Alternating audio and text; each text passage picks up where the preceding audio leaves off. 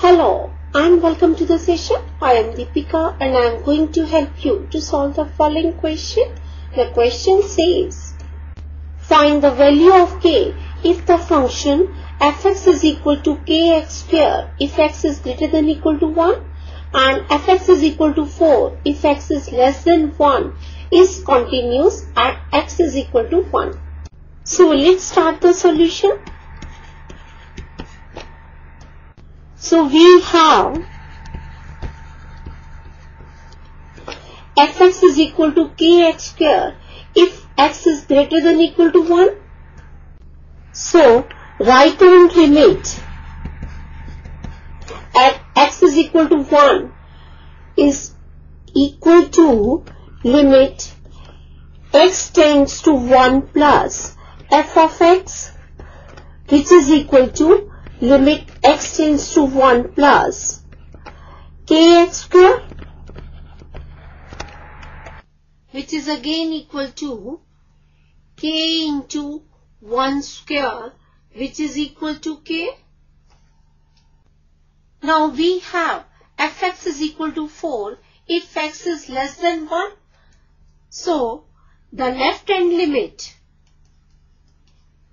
at x is equal to 1 is equal to limit x tends to 1 minus f of x which is equal to 4 and we have f of 1 is equal to k into 1 square which is equal to k. Since we are given fx is continuous.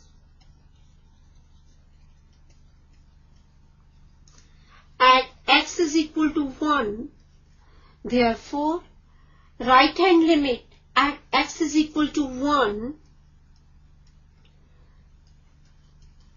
is equal to left hand limit at x is equal to 1 is equal to value of the function at x is equal to 1.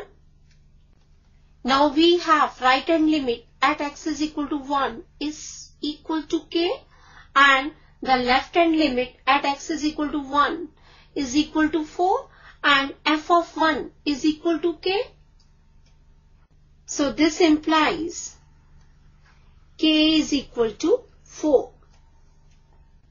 Thus, continuous